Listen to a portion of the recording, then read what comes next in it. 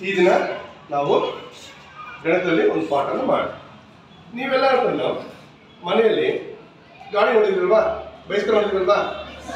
Bicycle ಚಕ್ರ ನೋಡಿದ್ರಾ? ಚಕ್ರ ಹೇಗಿರುತ್ತೆ? ಚಕ್ರ ಒಳ್ಳಾಗಿರುತ್ತೆ ಅಂದ್ರೆ ಆ ಚಕ್ರ ನಾವು ಕಣ್ಣಲ್ಲಿ ಏನ್ ಕರಿತೀವಿ ರೌಂಡ್ ಅಲ್ಲಿ ಕಣ್ಣಲ್ಲಿ ಏನ್ ಕರಿತೀವಿ ಹಾಗಾದ್ರೆ ನಾವು ವೃತ್ತ ಹೇಗಿರುತ್ತೆ ಅಂತ ನೋಡಿದ್ರೆ ನೀವು? ವೃತ್ತಕ್ಕೆ ಮಾದರಿಗಳಲ್ಲಿ ನೋಡಿ ನೀವೇ ಕೆಲಸ ಮಾಡಿದ್ರ ಈ ತರ ವೃತ್ತ ಮಾದರಿ ಇರುತ್ತೆ. ಸರಿಯಾ? ಬಟ್ ಇದು ವೃತ್ತನ? ವೃತ್ತದ ಮಾದರಿ. ವೃತ್ತದ ಮಾದರಿ. ಸೊ ವೃತ್ತ ಹೇಗಿರುತ್ತೆ ಅನ್ನೋದಕ್ಕೆ ನಾವೀಗ ಡ್ರಾ ಬೋರ್ಡ್ ಡ್ರಾ ಮಾಡಿ ಸೊ ವೃತ್ತ ಡ್ರಾ ಮಾಡಬೇಕಾದ್ರೆ ಫಸ್ಟ್ ಒಂದು ಬಿಂದು ಇಟ್ಕೋಬೇಕು. ಆ ಬಿಂದುನ ನಾವು ಕೇಂದ್ರ ಬಿಂದು ಅಂತ ಕರೀತೀವಿ. ಬಿಂದು ಕರೀತೀವಿ ನಾವು? ಅದಕ್ಕೆ ಒಂದು ನಾಮಕರಣ ಮಾಡೋಣ. ಸಾಮಾನ್ಯವಾಗಿ ಓ ಅಕ್ಷರದಿಂದ ನಾಮಕರಣ ಮಾಡೋಣ. ಸಾಮಾನ್ಯ ಯಾವ ಅಕ್ಷರ ನಾಮಕರಣ ಮಾಡ್ತೀವಿ? ಏನಂತ ಬಿಂದು ಇದು ಏನು ಕಾಂಪ ಅಥವಾ ಕೈವಾರ. ಕನ್ನಡದಲ್ಲಿ ಕೈವಾರ. ಇಂಗ್ಲಿಷಲ್ಲಿ ಇದ್ರ ಮೂಲಕ ಏನ್ ಮಾಡ್ತೀವಿ ನಾವು? ವೃತ್ತವನ್ನು ರಚನೆ ಮಾಡಬಹುದು ಇದ್ರ ಮೂಲಕ ಏನ್ ಮಾಡ್ತೀವಿ ನಾವು? ರಚನೆ ಮಾಡ್ತೀವಿ. ನೋಡಿ ವೃತ್ತ ಹೆಂಗ್ ಮಾಡ್ತೀವಿ? ನಾನು ಇಷ್ಟು ತಗೊಂಡ ಡಿಸ್ಟೆನ್ಸ್ ಹಿಂಗೆ ಇತ್ತಲ್ವಾ? ಹಿಂಗೆ ತಗೊಂಡಲ್ವಾ? ಇದನ್ನ ನಾವು ಕಂಸ ಅಂತ ತಗೊಳ್ತೀವಿ. ಏನ್ ಕಂಸ. ಸೊ ಎಷ್ಟಿದೆ ಗೊತ್ತಿಲ್ಲ. ನಮಗೆ ಅಳತೆ ತಗೊಂಡೆ ನಾನು. ಅಳತೆ ಬೇಡ ನನಗೆ ಯಾಕೆ ನಿಮ್ಗೆ ನೃತ್ಯ ಹೇಳ್ಕೊಡ್ಬೇಕು ಈಗ ಸೊ ನನಗೆ ಅಳತೆ ಬೇಕಾಗಿಲ್ಲ ಮುಂದಕ್ಕೆ ನಿಮಗೆ ಅಳತೆ ಕೊಟ್ಟಾಗ ಎಷ್ಟು ಅಳತೆ ಬೇಕೋ ಅಷ್ಟು ಅಳತೆ ತಗೊಂಡು ಮಾಡಬೇಕು. ಈಗ ಜನರಲ್ ಆಗಿ ಮಾಡೋಣ. ಸೊ ಒಂದು ಟೇಬಲ್ ತಗೊಂಡು ಕಂಸ ತಗೊಂಡು.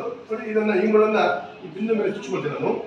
ಬಿಂದು ಮೇಲೆ ಚುಚ್ಕೊಂಡು ಸೊ ಇಲ್ಲಿಂದ ಎಷ್ಟು ಸಾಧ್ಯ ಸಾಧ್ಯವಾಗುತ್ತೋ ಅಲ್ಲಿಂದ ಇಟ್ಕೊಂಡು ನನಗೆ ಇದು ಬದಲಾಯಿಸ್ಬಿಟ್ಟು ಕೈನ ಸೊ ಇದು. ನೋಡಿ, ನಾನು ಇಲ್ಲಿ ಸ್ಟಾರ್ಟ್ ಮಾಡಿದೆ. ಅದು ಬದಲಾಯಿಸ್ಕೊಂಡೆ ಮತ್ತೆ ಅಲ್ವಾ? ಇದು ಯಾವುದೇ ಕಾರಣಕ್ಕೂ ಉಲ್ಟಾ ಬಂದಿಲ್ಲ ಅದು. ಸೊ ವೃತ್ತ ಹೇಳ್ಬೇಕಾದ್ರೆ ಉಲ್ಟಾ ಬರಬಾರ್ದು. ಓಕೆನಾ ಇದನ್ನ ನಾವು ವೃತ್ತ ಅಂತ ಕರಿತೀವಿ. ಅರ್ಥ ಆಯ್ತಾ ವೃತ್ತ ಅದೇ ಇದರ ಮಾದರಿ ಅಂತ ಹೇಳಿ ಯಾಕೆಂದ್ರೆ ವೃತ್ತ ಅಂದ್ರೆ ಈ ಖಾಲಿ ಇರಬೇಕು. ಇದು ಖಾಲಿ ಇಲ್ಲ. ಅದಕ್ಕೆ ಇದು ಮಾದರಿ ಅಂತ ಹೇಳ್ತೀವಿ. ವೃತ್ತಾಕಾರದ ಮಾದರಿ ಇದು. ವೃತ್ತ. ಓಕೆನಾ ಈಗ ಈ ರೌಂಡ್ ಬಂತಲ್ವಾ? ಇದನ್ನ ಏನ್ ಕರಿತೀವಿ ನಾವು?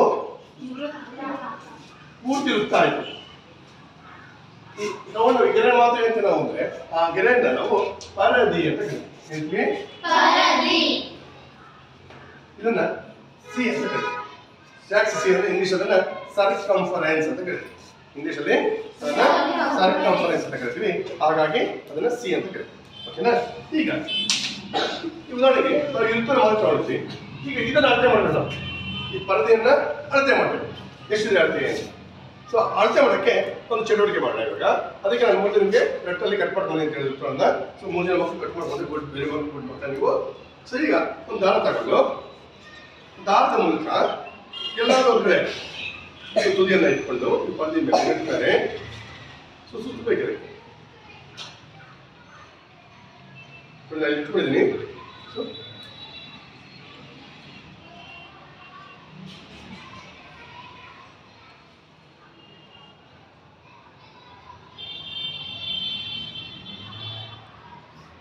ಇಲ್ಲಿ ಇಟ್ಕೊಳ್ಳೋ ಬಾಬಾ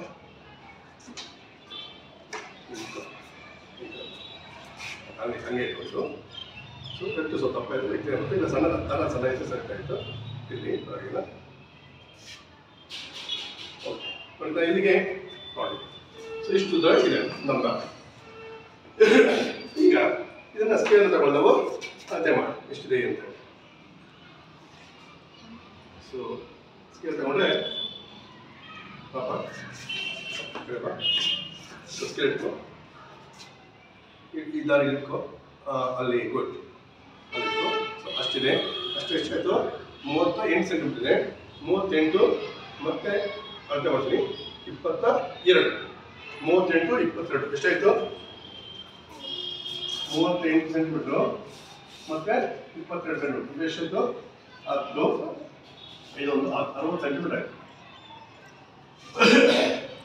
ಈ ಪರದೆ ಎಷ್ಟಿದೆ ಇವಾಗ? ಪರದೆ ಅರವತ್ತು ಸೆಂಟಿಮೀಟರ್ ಇದೆ. ಹೀಗೆ ಹೀಗೆ ನಾವು ಪರದಿಯನ್ನ ಅಳತೆ ಮಾಡೋದಕ್ಕೆ ಇದೊಂದು ಚಟುವಟಿಕೆ ಮಾಡಬಹುದು ಆಗ್ಬೋದಾ? ಈಗ ವೃತ್ತದ ಭಾಗಗಳನ್ನು ಕನೆಕ್ಟ್ ವೃತ್ತದ ಭಾಗಗಳೇ ಯಾವ್ಯಾವುದು ಸೊ ಈಗ ಆಡಿ ಎರಡು ಭಾಗ ಹೇಳಿದೆ ನಿಮಗೆ. ಯಾವ್ದು ಎರಡು ಭಾಗ? ಒಂದು ವೃತ್ತ ಕೇಂದ್ರ. ಏನಿದು. ಅದಕ್ಕೆ ಯಾವ ನಾವು? ಓ. ತಿನ್ನವು ನಾವು? ಪರದಿ. ಪರದಿ. ಅದು ಯಾವ ಶಾಸ್ತ್ರ ಅಂತ ಕರಿತೀವಿ ನಾವು ಈಗ ಇದರ ಮಧ್ಯೆ ನಾನು ಒಂದು ಈ ಕೇಂದ್ರ ಮೂಲಕ ಹಾದು ಹೋಗುವ ಹಾಗೆ ಒಂದು ಗೆರೆಯನ್ನು ಹೇಳ್ತೀನಿ ನಾನು.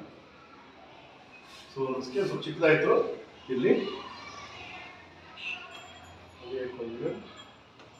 ಒಂದೇ ಸ್ಕೇಲ್ ಹಾಕಬೇಕು ಹೀಗೆ ಚೇಂಜ್ ಮಾಡಬಾರ್ದು. ಸೊ ಇದು ಇದನ್ನ ಏನ್ ನಾವು. ಇದನ್ನು ವ್ಯಾಸ ಅಂತ ಕರಿತೀವಿ. ಹೇಳ್ತೀವಿ ಇಂಗ್ಲಿಷ್ ಅದನ್ನ ಡಿ ಅಂತ ಕರಿತೀವಿ ಡಯಾಮೀಟರ್ ಇಂಗ್ಲಿಷ್ ಅಲ್ಲಿ ಡಯಾಮೀಟರ್ ಡಿ ಅಂತ ಸೂಚಿಸ್ತದೆ ಈಗ ಇದು ಕೇಂದ್ರ ಬಿಂದು ಇದೆ ಇಲ್ಲಿ. ಇಲ್ಲಿಂದ ಇಲ್ಲಿಗೆ ನಾವು ಎ ಅಂತ ಕರೆಯೋದು. ಇಲ್ಲಿಂದ ಇಲ್ಲಿಗೆ ನಾವು ಎ ಅಂತ ಕರೆಯೋದು. ಸೊ ಹಾಗಾದ್ರೆ ಓ ಇಂದ ಎಗೆ ಇಲ್ಲಿ ಒಂದು ಈ ದೂರ ಏನು ಸರ್ ಅಂದ್ರೆ ಈ ದೂರ ನಾವು ತ್ರಿಜ್ಯ ಅಂತ ಕರಿತೀವಿ.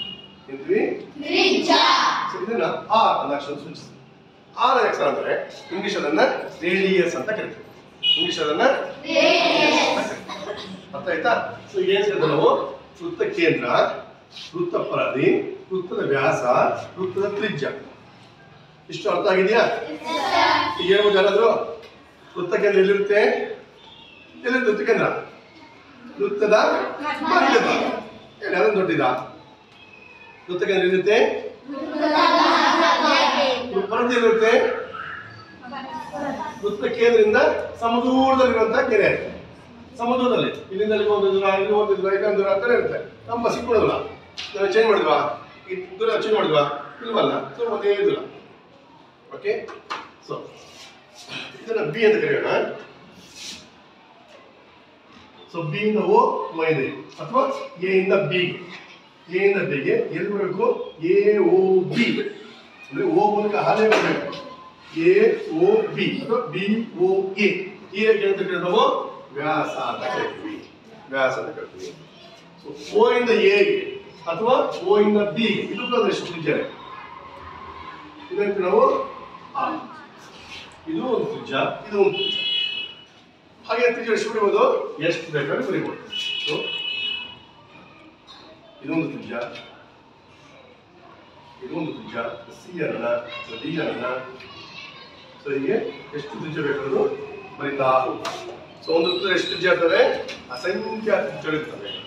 ಒಂದು ಉತ್ತರ ಎಷ್ಟು ತ್ರಿಜ್ಯ ಇರ್ತವೆ? ಅಸಂಖ್ಯಾತ ತ್ರಿಜ್ಯಗಳು ಇರ್ತವೆ. ಅದೇ ತರ ವ್ಯಾಸ ಎಷ್ಟು ಅಂದ್ರೆ ಅವು ಕೂಡ ಅಷ್ಟೇ ಅಸಂಖ್ಯಾತ ಈಗ ಡಿ ಇದೆ, ಅದನ್ನೇ ಎಕ್ಸ್ಪ್ಲೇನ್ ಮಾಡ್ತೀನಿ ನಾನು. ಪಿ ಪಿ ಡಿ ಅದು ಒಂದು ವ್ಯಾಸ. ಸೊ ಸಿ ಇದೆ, ಅದನ್ನೇ ಉದ್ದ ಮಾಡ್ತೀನಿ ನಾನು ಕ್ಯೂ ಕ್ಯೂ ಕ್ಯೂ ವ್ಯಾಸ ಈ ಎಷ್ಟು ಇರ್ತವೆ? ಒಂದು ವೃತ್ತದಲ್ಲೇ ಅಸಂಖ್ಯಾತ ವ್ಯಾಸಗಳು ಇರ್ತವೆ ಅಸಂಖ್ಯಾತ ತ್ರಿಜೋಳು ಇರ್ತವೆ ಆಗ್ಬೋದಾ ಇಷ್ಟ ಅರ್ಥ ಆಯ್ತಾ ಈಗ ನೋಡಿ ನಾನು ಇಲ್ಲೊಂದು ಏನ್ ಹಾಕ್ತೀನಿ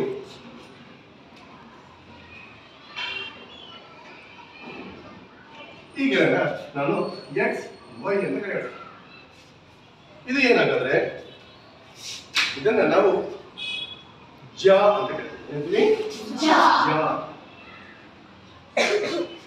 ಜಾನ್ ಅದನ್ನ ಇಂಗ್ಲಿಷಲ್ಲಿ ಕಾರ್ಡ್ ಅಂತ ಹೇಳಿ. ಇಂಗ್ಲಿಷಲ್ಲಿ ಕಾರ್ಡ್ ಅಂತ ಸೊ ಇದೇನು ಮಾಡ್ತಿದೆ ವೃತ್ತವನ್ನ ಮಧ್ಯದಲ್ಲಿ ಹೋಗಿಲ್ಲ. ಎಲ್ಲ ಒಬ್ಬರೇ ಕಟ್ ಮಾಡಿ. ವೃತ್ತ ಎರಡು ಭಾಗ, ಎರಡು ಕತ್ತರಿಸಿದೆ ಓಕೆನಾ ಸೊ ಇದೊಂದು ಆಗ್ತದೆ ಇದೊಂದು ಕಂಡ. ಸೊ ಈಗ ಈ, ಇಲ್ಲಿಂದ ಇಲ್ಲಿಗೆ ಜಾಗ ಅಲ್ಲ. ಈ ಕಂಸವನ್ನು ನಾವು ಕಂಸ ಆರ್ಕ್ ಅಂತ ಕರಿತೀವಿ. ಕಂಸ ಓಕೆನಾ ಸೊ ಇಷ್ಟು ಉತ್ತರ ಭಾಗ ಇದನ್ನೇ ನಾವು ನಮ್ಮ ವೃತ್ತದಲ್ಲಿ ಕಟ್ ಮಾಡ್ತಾ ನೋಡೋಣ ನೋಡಿ, ನಾನು ಇಲ್ಲಿ ಒಂದು ಗೆರೆ ಹಾಕಿದ್ದೀನಿ ನಾನು. ಇದೊಂದು ವ್ಯಾಸ. ಕಾಣಿಸುತ್ತಾ? ಇದೊಂದು ವ್ಯಾಸ. ಇದು ಒಂದು ವ್ಯಾಸ. ಇದು ಒಂದು ವ್ಯಾಸ. ಮೂರು ವ್ಯಾಸ ಹಾಕೊಳ್ಳಿ. ಮೂರು ವ್ಯಾಸಗಳು ಸೇರಿದೆ? ಮಧ್ಯಬಿಂದು ಸೇರಿದೆ. ಅದಕ್ಕೆ ನಾವು ಓ ಅಂತ ಕರಿತೀವಿ. ಇದೊಂದು ಲೈನ್ ಹಾಕಿದ್ದೀನಿ. ಇದು ಜ. ಇದು ಜ. ಓಕೆನಾ ಈಗ ನಾವು ಕತ್ತರಿಸ್ತಾ ಹೋಗೋಣ ಬೇರೆ ಬೇರೆ ಭಾಗಗಳ ಹಾಕ್ತಾ ಹೋಗ್ತವೆ ನೋಡಿ ಈಗ ಇದ್ರ ಮೂಲಕ ಕತ್ತರಿಸಿ ನಾನು ಒಳ್ಳೆ ಕತ್ರಿ ಕೊಟ್ರು. ಇಲ್ವಾ ಕತ್ರಿ? ಒಳ್ಳೇದು. ಯಾರು ಕತ್ತರಿಸೋ ಚೆನ್ನಾಗಿಲ್ವಾ?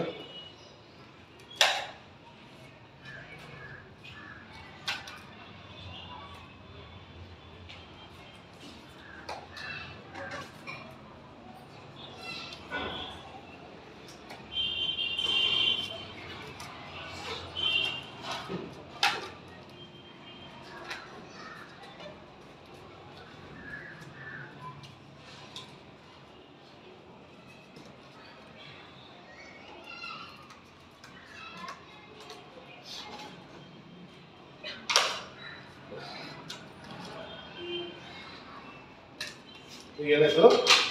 ಏನಾಯ್ತು ಇವಾಗ? ವೃತ್ತ ಇದ್ದಿದ್ದು ಎರಡು ಅರ್ಧರ್ತೋಳ ಆಯ್ತು. ವೃತ್ತ ಇದ್ದಿದ್ದು ಎರಡು ಅರ್ಧರ್ತೋಳ ಸರಿಯಾ? ಸೊ ಎಲ್ಲಿ ಕಟ್ ನಾವು ವ್ಯಾಸದಲ್ಲಿ ಕಿತ್ತರಿಸಿದ್ದೀವಿ ವ್ಯಾಸದ ಮೇಲೆ ಕತ್ತರಿಸಿದ್ದೀವಿ ಸೊ ಈಗ ಇನ್ನೊಂದು ತಗೋಣ. ನೋಡಿ ಈಗ ತ್ರಿಜ್ಯ ಹಾಕಿದೆ ನಾನು. ಇಲ್ಲಿಂದ ಇಲ್ಲಿಗೆ ತ್ರಿಜ್ಯ ಬರುತ್ತೆ. ಸೊ ತ್ರಿಜ್ಯ ಕಟ್ ಮಾಡಿ ಅದನ್ನ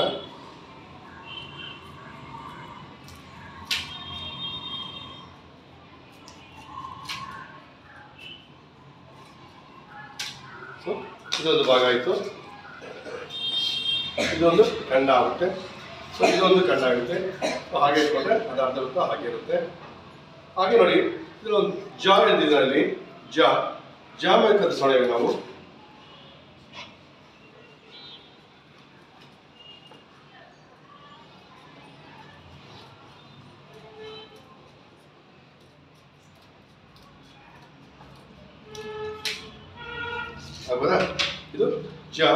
ಜಾನ ಕಟ್ಟಿಸಿದ್ದೀನಿ ಸೊ ಇದು ಒಂದು ವೃತ್ತಖಂಡ ಆಯಿತು. ಉಳಿದು ಭಾಗ, ಎಲ್ಲ ಭಾಗನೂ ಸೇರಿ ಒಂದು ವೃತ್ತಖಂಡ ಆಗುತ್ತೆ. ಆಗ್ಬೋದಾ ಇದು ಪೂರ್ತಿ ಒಂದು ವೃತ್ತಖಂಡ, ಇದು ಒಂದು ವೃತ್ತಖಂಡ. ಸೊ ಹೀಗೆ ನಾವು ವೃತ್ತದಲ್ಲಿ ಬೇರೆ ಬೇರೆ ಭಾಗಗಳನ್ನ ತೆಗಿತಾ ಹೋಗ್ಬೋದು. ಅರ್ಥ ಆಯ್ತಾ ವೃತ್ತದ ಬಗ್ಗೆ ಪಾಠ? Okay good.